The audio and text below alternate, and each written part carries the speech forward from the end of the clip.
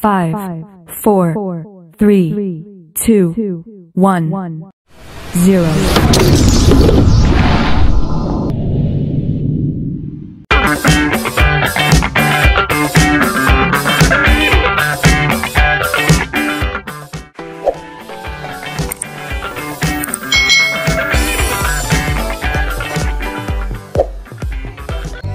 Hai hai hai Selamat datang adik-adik semuanya di channel youtube Kak Citra. Apa kabarnya adik-adik semuanya? Kak Citra berharap kalian dalam keadaan yang baik, sehat, dan semangat untuk belajar.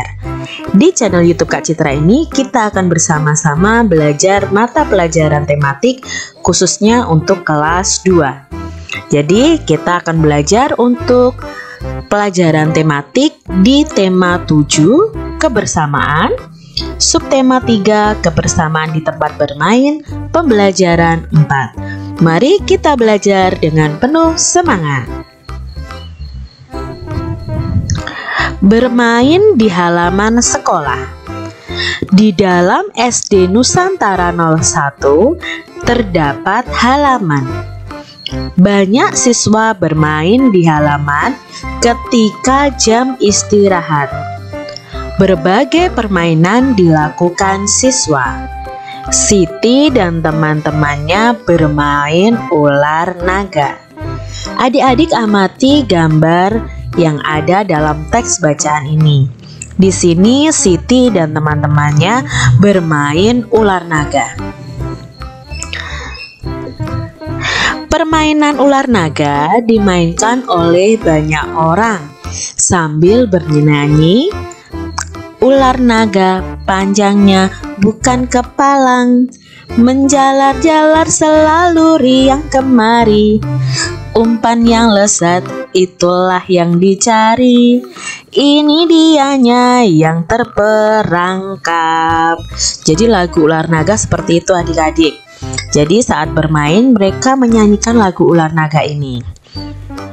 Nah cara bermainnya peserta harus membagi tugas Dua orang menjadi gerbang, satu orang menjadi induk naga, dan lebih dari satu orang menjadi anak-anak naga.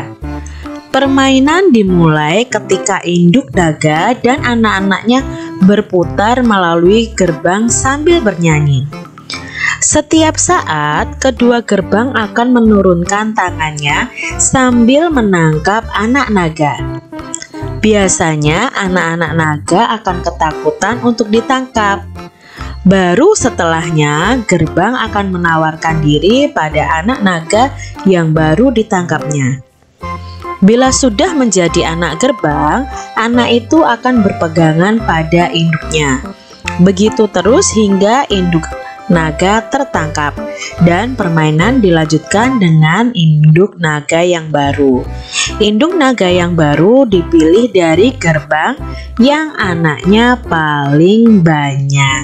Nah, dalam permainan ular naga ini, kalian diperlukan kekompakan adik-adik. Kalian bisa cari nanti di channel YouTube uh, bagaimana cara memainkan ular naga ini. Pasti banyak contoh-contoh video di YouTube yang uh, memberitahu kita bagaimana cara bermain ular naga. Nah, ini secara teori permainan ular naga itu seperti ini adik-adik. Setiap anak pasti memiliki permainan kesukaan yang berbeda. Coba tanyakan kepada temanmu tentang permainan kesukaannya. Adik-adik, permainan kesukaan kalian apa nih? Apakah ada yang suka bermain casting? Apakah ada yang suka bermain boneka? Atau bermain sepak bola? Nah, mungkin teman-teman kalian memiliki permainan kesukaan yang berbeda dengan kalian.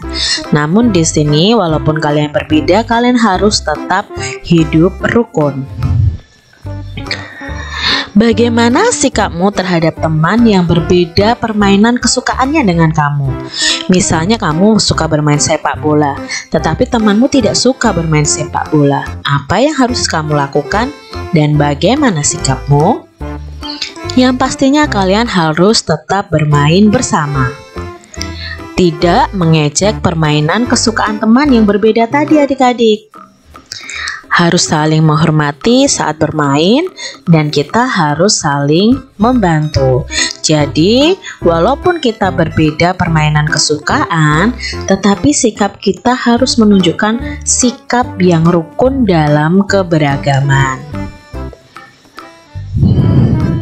Nah, di sini ada percakapan antara semut dan belalang. Nah, di sini kalau lala itu adalah belalang dan mumut itu adalah semut. Yuk kita baca percakapan antara semut dan belalang. Kamu mau ke mana mumut? Tanya Lala. Aku sedang jalan-jalan sambil mencari makanan Lala. Jawab Mumut. Hati-hati di jalan Mut, Semoga kamu mendapat makanan yang banyak. Aku pergi dulu ya, pesan Lala. Iya Lala, kamu juga hati-hati di jalan, jawab Mumut. Mumut bertemu dengan Kribo. Kak Citra nggak tahu nih adik-adik Kribo ini binatang apa ya? Coba adik-adik tulis di kolom komentar ya kira-kira Kribo ini binatang apa? Ada yang bisa saya bantu teman? Tanya Mumut. Emang kami teman kamu? Jangan sok jadi teman lah. Sekarang cepat serahkan makanan itu. Paksa si Kribo. Aku tidak akan menyerahkan makanan ini. Aku mencarinya dengan susah payah. Nah, dalam cerita ini adik-adik, ada berapa tokoh dalam kisah semut dan belalang ini? Ya, ada tiga tokoh yaitu Lala, Mumut, dan Kribu. Dari ketiga tokoh ini, kira-kira adik-adik pilih yang mana ya? Apakah kalian pilih Lala, atau Mumut, atau Kribu adik-adik? Yang pastinya kalau Kak Citra nggak akan pilih Kribo deh, karena Kribo di sini suka mengancam temannya dan suka meminta makanan temannya. Jadi adik-adik jangan contoh si kribo ya. Dalam dongeng tersebut ada kata sapaan. Masih ingatkah kalian tentang kalimat sapaan? Nah, di sini kita akan belajar tentang kata sapaan dan kalimat sapaan. Kata sapaan merupakan suatu kata yang digunakan untuk menyapa orang lain dengan memperhatikan etika serta norma berbahasa. Jadi kalau kita menyapa orang lain harus dengan sopan adik-adik dengan norma berbahasa yang baik. Nah, Kata sapaan merupakan sebuah kata yang digunakan untuk dapat menegur sapa orang sebagai lawan bicara. Jadi ketika kita menegur orang lain itu menggunakan kata sapaan. Jenis-jenis kata sapaan yaitu yang pertama atau A kata sapaan yang menunjukkan hubungan kerabat seperti kalian memanggil kakek, nenek, bapak, ayah, ibu, paman, bibi, abang, dan sebagainya. Yang B, kata sapaan yang berbentuk kata ganti seperti kamu, engkau, saudara, anda, tuan, nyonya, nona, dan sebagainya. Yang ketiga, jenis kata sapaannya adalah kata sapaan yang menunjukkan rasa hormat, seperti paduka yang mulia, yang terhormat, itu merupakan kata sapaan yang menunjukkan rasa hormat. Yang keempat atau yang D, kata sapaan yang diikuti nama. Jadi ketika kalian memanggil nama temanmu itu merupakan kata sapaan seperti saudara Hasan, Bapak Susanto, Ibu Amir dan sebagainya. Nah, dalam dongeng tadi, semut dan belalang tadi juga ada kata sapaan. Di sini sudah Kak Citra tunjukkan kata-kata sapaan yang ada dalam dongeng semut dan belalang. Yang pertama tadi ada kalimat, kamu mau ke mana Mumut? Tanya Lala. Nah, di sini Lala menggunakan kata sapaan. Dia menyapa semut dengan panggilan Mumut. Jadi kata sapaannya adalah Mumut. Yang kedua, Aku sedang jalan-jalan sambil mencari makanan, Lala. kata mumut. Nah, di sini gantian mumut yang menyapa.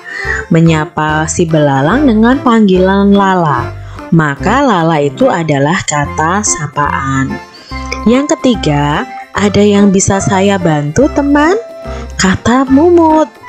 Di sini ada kata sapaan yang tidak memanggil nama, tetapi di sini adalah kata ganti atau sebutan yaitu teman. Jadi kata sapaannya adalah teman. Yang keempat, hati-hati di jalan, Mut. Semoga kamu mendapat makanan yang banyak. Aku pergi dulu ya, kata Lala. Nah, di sini ada kata sa sapaannya adalah mut. Mut itu singkatan dari mumut. Jadi kan si Lala ini memanggilnya mut. Jadi kata sapaannya adalah mumut. Yang kelima, Iya Lala, kamu juga hati-hati di jalan, kata Mumut. Maka di sini Mumut memanggil belalang dengan kata sapaan Lala. Nah itu tadi kata sapaan yang terdapat pada dongeng semut dan belalang. Berilah tanda centang pada gambar yang menunjukkan perilaku menghormati teman dan berilah tanda silang pada gambar yang menunjukkan perilaku yang tidak menghormati teman. Nah, di sini Kak Cita punya gambar. Coba mana yang harus kita centang? Berarti tanda yang kita centang itu gambar yang kita centang itu berarti gambar yang menunjukkan menghormati teman, tetapi yang tidak menghormati teman kita beri tanda silang. Kita lihat gambar yang pertama adalah Dua orang anak sedang berjabat tangan. Nah, kira-kira ini apakah menghormati teman? Kita akan beri tanda silang atau tanda centang ya. Ya, kita beri tanda centang karena ini menghormati teman. Sekarang sebelahnya atau di sampingnya. Ini dia apa? Membanting mobil-mobilan milik temannya. Apakah ini menghormati teman? Tentunya tidak adik-adik. Lalu kita akan beri tanda apa? Centang atau silang? Kita beri tanda silang karena ini tidak boleh kita lakukan. Gambar berikutnya adalah gambar anak yang berebut buku. Nah, di sini ada tiga orang anak berebut buku. Apakah itu termasuk uh, sikap yang menghormati teman atau menghargai teman? Tentunya tidak adik-adik. Kalau tidak berarti kita beri tanda silang juga. Lalu di sampingnya Anda membaca buku bersama-sama. Walaupun bukunya cuma satu dan orangnya ada empat, tetapi mereka rukun, tidak berebut. Berarti ini menghormati temannya. Kita beri tanda cinta. Di sini tadi ada kisah tentang semut. Kak Citra punya gambar semut. Di sini gambar semutnya ada tiga, ya. Nah, ada soal seperti ini adik-adik. Seekor semut dari kumpulan semut di samping dapat dinyatakan dengan pecahan. Seekor semut itu satu adik-adik. Dari kumpulan semut yang ada, berarti kalau dinyatakan dalam pecahan, satu per tiga. Kita lihat gambar berikutnya. Ada dua semut. Seekor semut dari kumpulan semut di samping dapat dinyatakan dengan pecahan seekor semut berarti satu dari kumpulan semut yang ada. Kumpulan semut yang ada ada dua, jadi dapat dinyatakan dengan pecahan satu per dua atau setengah. Berikutnya, ada berapa semut adik-adik? Ya, ada empat semut. Nah, kita lihat soalnya. Seekor semut dari kumpulan semut di samping dapat dinyatakan dengan pecahan seekor berarti satu dari kumpulan semuanya ada empat berarti satu ekor semut itu bisa dinyatakan dengan pecahan satu per empat soal berikutnya ada gambar apa nih adik-adik ya ada gambar belalang yang hinggap di ranting gitu ya. Itu belalangnya ada dua. Seekor belalang dari kumpulan belalang di samping dapat dinyatakan dengan pecahan. Kalau seekor berarti satu, dari kumpulan yang ada yaitu dua. Berarti dapat dinyatakan seekor belalangnya dalam pecahan satu per dua. Berikutnya ada gambar tiga belalang. Nah, soalnya seekor belalang dari kumpulan belalang di samping dapat dinyatakan dengan pecahan, maka dapat dinyatakan dengan pecahan berapa adik-adik? Ya, pecahannya adalah 1 per 3 karena seekor belalang dari kumpulan belalang yang ada. Nah, adik-adik itu tadi pembelajaran kita hari ini yang bersumber dari buku tematik tema 7 kurikulum 2013 milik pemerintah yang diterbitkan oleh pemerintah. Jadi Kak Citra harap kalian dapat mengerti dan memahami apa yang kita pelajari hari ini.